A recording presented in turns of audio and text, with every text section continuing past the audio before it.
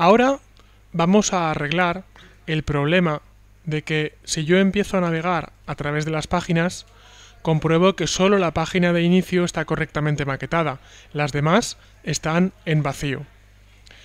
Como podréis imaginar, una solución sería copiar todo lo que hay dentro de la etiqueta style y pegarlo dentro del resto de páginas. Pero esta no es una solución válida, sí que es posible, pero no es la correcta dentro de CSS. Porque la idea de CSS es precisamente hacer una cascading style sheet, es decir, una hoja de estilo en cascada. Y la idea de cascada es que tú la creas una sola vez y cae en cascada automáticamente en todos los archivos desde, los cuales se llame. Por tanto, haced lo siguiente conmigo, que es, dentro de Web Content, vamos a pulsar botón derecho, voy a crear un New File, y aquí no está, al menos yo no lo tengo, el tipo de archivo que quiero crear. Ahí debería aparecer un CSS file. Mirad si vosotros lo tenéis. Igual lo tenéis, pero el caso es que yo no. Por tanto, como yo no lo tengo, me voy a ir a Other. Y si me voy a Other, voy a buscarlo por aquí.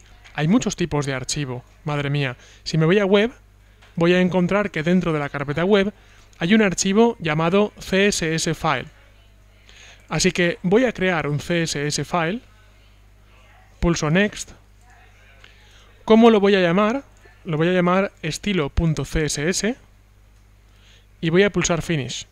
Tras lo cual compruebo que dentro de mi jerarquía de archivos se ha creado un archivo que de momento está en la raíz llamado estilo.css. Y dentro de estilo.css ahora sí, voy a respetar la línea que viene por defecto, que no está mal.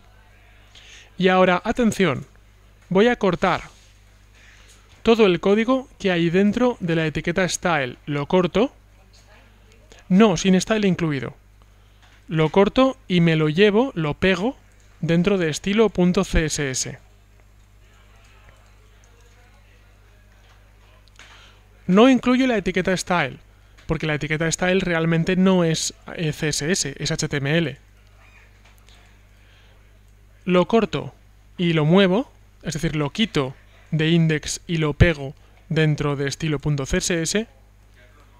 Copiarlo no, cortarlo y pegarlo, moverlo sin las etiquetas style, efectivamente. Las etiquetas style se quedan dentro del archivo index.html, por si acaso las necesitamos más adelante. Y ahora tengo que hacer una llamada a ese estilo CSS. La llamada la hago con una etiqueta link. Link rel es igual a style sheet. href es igual a estilo.css. Lo que estoy haciendo ahí, básicamente, es llamar a ese estilo que he externalizado dentro de ese archivo llamado estilo.css. Acordaos que cuando empezamos a trabajar con CSS, os dije que había tres métodos de trabajar. Uno, el CSS en línea, poco recomendable, solo para ocasiones.